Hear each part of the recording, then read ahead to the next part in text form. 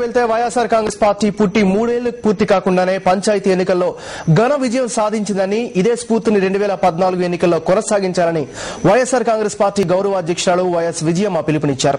మహానేత వైఎస్ రాజశేఖర రెడ్డి ప్రవేశపెట్టిన దిగ్విజయంగా కొనసాగించిన పథకాలే స్ఫూర్తిగా ముందుకు సాగుతామన్నారు. వైఎస్ఆర్ మూడు ప్రాంతాలను సమంగా అభివృద్ది చేశారని గుర్తు చేశారు.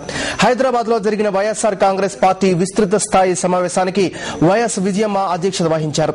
ఈ భేటీకి పార్టీ ఎంపీ ఎమ్మెల్యేలు ఎమ్మెల్సీలు కేంద్ర పాలక మండలి సభ్యులు జిల్లా మండల నేతలు హాజరయ్యారు. పార్టీ అధినేత వైఎస్ జగన్ సూచనల మేరకు వైఎస్ విజయమ్మ పార్టీ నేతలకు దిశానిర్దేశం చేశారు. మరి పంచాయతీ ఎన్నికల్లో మీరు మీరు చూపిన మన పార్టీ సత్తా చూపినందుకు ఈ విజయానికి మీ కృషి మీ మీరే కారణం అని కూడా మీకు అందరికి కూడా చెప్తున్నా. ఎందుకంటే మరి మన మన పార్టీ పుట్టి మూడు సంవత్సరాలు కూడా కాలేదు ఇంకా పుట్టి కాలేదు. మరి ఇటువంటి పరిస్థితుల్లో మరి ఇంత చిన్న అనతి కాలంలోనే మనం ఏ పార్టీలకు తీసుకోకుండా మంచి విజయం తెచ్చుకోగలిగినందుకు ఇది మనం సామాన్యమైనదిగా తీసుకోవాల్సిన పని లేదు. ఇది ఘన విజయంగానే తీసుకుందాం. కానీ మరి ఇదే స్ఫూర్తితో ఇదే బాధ్యతతో మరి రెండు వేల పద్నాలుగు వచ్చే ఎన్నికల్లో మరి ఏదైతే మనం రాజశేఖర రెడ్డి గారి ఆశయాలకు అనుగుణంగా మరి ప్రజలకు మేలు చేసే మేలు చేసే విధంగా ప్రజల ఆకాంక్షల మేరకు మనం నడుచుకునేటట్లుగా మనం కార్యోన్ముఖులమై ముందుకు నడవాల్సిన అవసరం ఉంది. ప్రతి నిమిషం కూడా మీరు సున్నద్ధులై ఉండాలని కూడా మీ అందరికీ మిమ్మల్ని అందరినీ కూడా నేను కోరుతా ఉన్నా.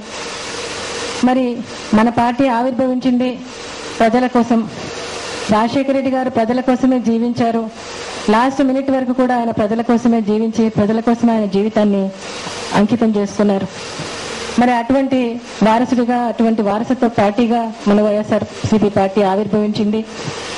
ఈ పార్టీలో జగన్ బాబు నాయకత్వంలో కూడా మనం ఆయన కూడా అలాంటి ప్రజల కోసం జీవించాలని ప్రజల కోసం ఉండాలని ఆయన ఆయన ఆశలు ఆశయాలు కూడా ఆయన ఉన్నాయి. మరి అటువంటప్పుడు మన పార్టీ మరి ఈరోజు ముందుకు వెళ్తా ఉంది. రాజశేఖర రెడ్డి గారు ఉన్నప్పుడు కూడా ప్రజల భావితరాల సంక్షేమం కోసం ప్రజల కోసం ఆయన తీవ్ర ప్రయత్నం చేయడం జరిగింది.